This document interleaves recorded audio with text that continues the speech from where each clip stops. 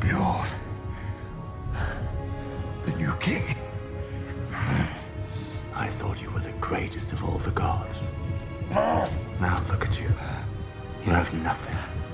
I am the greatest god. I spared you us. I showed you mercy.